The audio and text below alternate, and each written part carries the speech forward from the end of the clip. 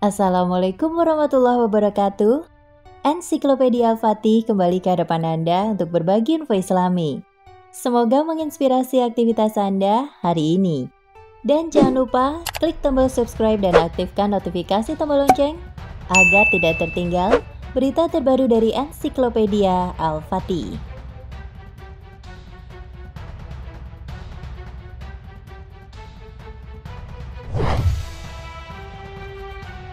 Banyak nama nabi dan rasul yang disebut dalam Al-Quran.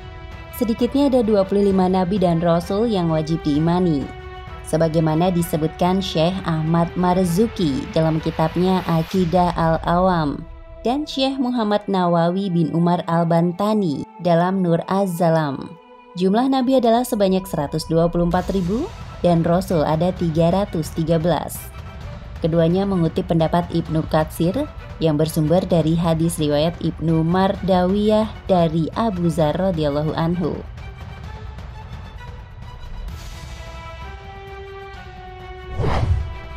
Sementara itu, Syekh Al-Bajuri berpendapat jumlah nabi dan rasul itu tidak terbatas. Pendapat yang soheh mengenai jumlah para nabi dan rasul adalah dengan tidak membatasi jumlahnya dalam hitungan tertentu karena hal itu bisa menetapkan kenabian pada seseorang yang kenyataannya bukan nabi, atau sebaliknya, menafikan kenabian pada seseorang yang realitasnya dia benar-benar nabi. Keterangan Bajuri ini bersumber pada Al-Quran, Surat An-Nisa ayat 164. Kami telah mengutus rasul-rasul yang sungguh telah kami kisahkan tentang mereka kepadamu dahulu dan para rasul yang tidak kami kisahkan tentang mereka kepadamu.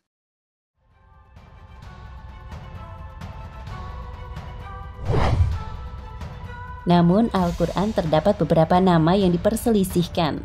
Apakah mereka itu seorang nabi, rasul, atau bukan? Misalnya Zulkarnain, Lukman Al-Hakim, dan Imron.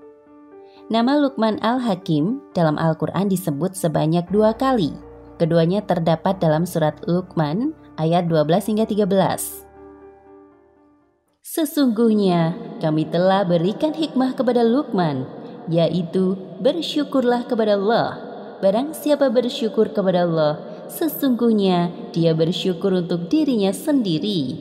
Barang siapa yang tidak bersyukur, sesungguhnya Allah Maha Kaya lagi Maha Terpuji. Quran Surat Luqman ayat 12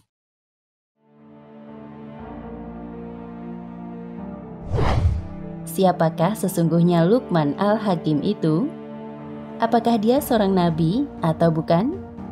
Menurut pendapat mayoritas ulama, Luqman hanyalah seorang ahli hikmah. Karena dalam Al-Quran disebutkan bahwa Allah memberikan hikmah kepadanya. Selain itu, ia terkenal dengan nasihat kepada anaknya untuk berbakti kepada kedua orang tua dan tidak menyekutukan Allah.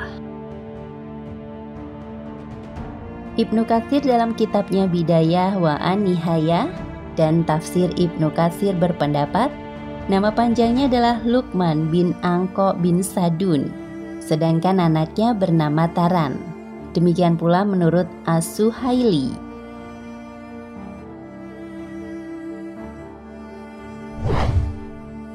Sementara itu, Syauqi Abu Halil dalam kitabnya Atlas Al-Quran menyebutkan, Lukman adalah putra saudara perempuan Ayub atau putra bibinya.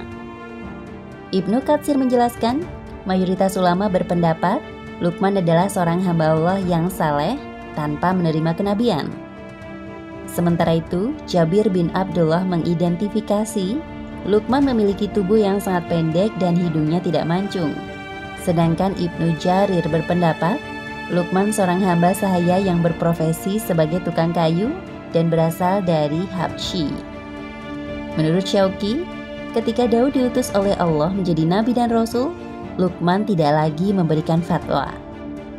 Ketika hal itu ditanyakan kepadanya, Lukman menjawab bahwa ia sudah cukup memberikan fatwa. Tidakkah aku merasa cukup bila aku sudah diberi kecukupan?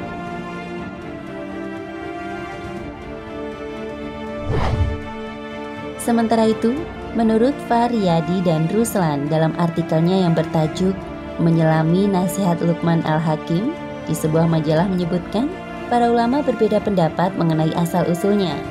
Ibnu Abbas radhiyallahu anhu menyebutkan Luqman adalah seorang tukang kayu yang berasal dari Habsyi. Said bin Musayyab mengatakan bahwa Luqman berasal dari kota Sudan dan memiliki kekuatan dan mendapatkan hikmah dari Allah. Namun dia tidak menerima kenabian.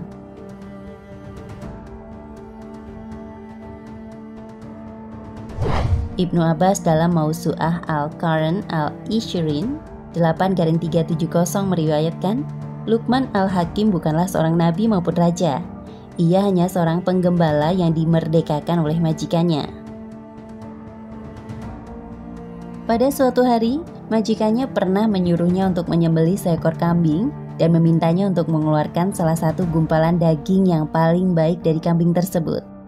Lukman pun mengeluarkan lidah dan hati dari tubuh kambing tersebut.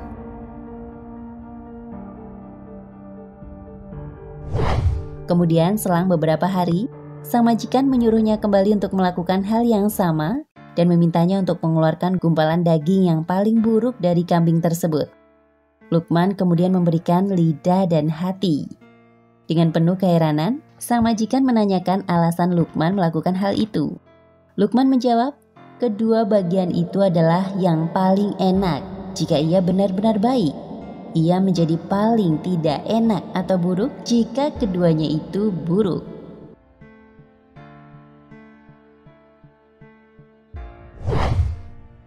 Siapa pun yang menyebutkan Lukman seorang ahli hikmah, itu karena di antara kata-kata bijak yang disampaikan Lukman adalah diam itu hikmah, tapi hanya sedikit sekali pelakunya. Riwayat lain menyebutkan, Lukman bertubuh pendek dan berhidung mancung. Ia berasal dari Nuba. Dan ada yang berpendapat dia berasal dari Sudan.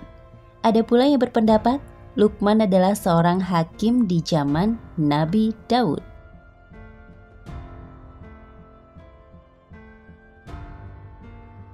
Nah, pemirsa ensiklopedia Al-Fatih, sampai di sini perjumpaan kita kali ini. Semoga menginspirasi.